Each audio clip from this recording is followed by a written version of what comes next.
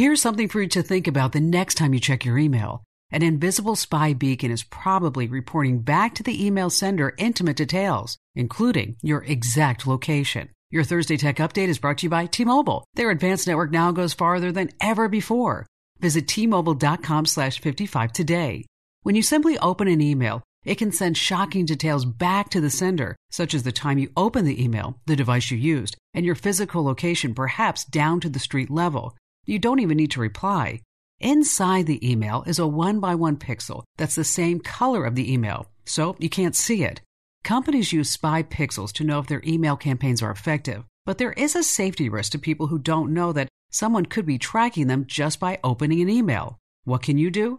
Turn on image blocking in your email app. There are also Chrome extensions that sometimes work. And privacy oriented email services like StartMail block these spy pixels by default.